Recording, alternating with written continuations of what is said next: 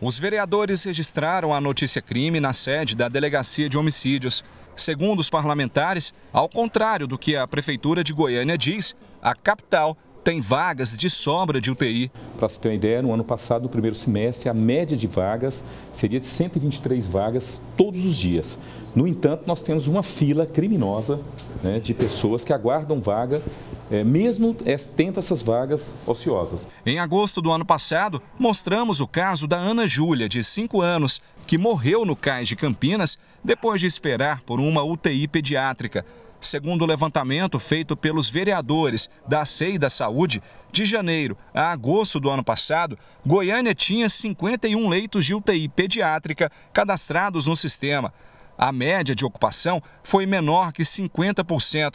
Especificamente no dia 12 de agosto, quando a menina morreu, 32 leitos de UTI pediátrica estavam vagos, conforme mostra relatório da Secretaria Municipal de Saúde.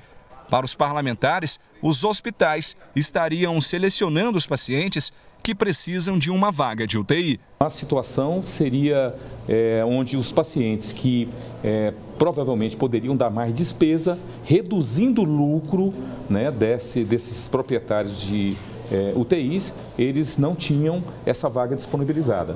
Coincidência ou não, a Record TV está sempre mostrando casos de idosos que esperam dias no cais por uma vaga de UTI. Em agosto, mostramos o caso da dona Iva, de 60 anos. Em dezembro, era a dona Maria de Lourdes, de 73 anos, que lutava por uma vaga. Segundo o relatório, em 2017, dos 297 leitos de UTI para adultos, em média, 169 estavam ocupados e 128 desocupados. No ano passado, 475 pessoas morreram nos cais em Goiânia. Não é possível dizer se todas morreram por falta de um leito de UTI.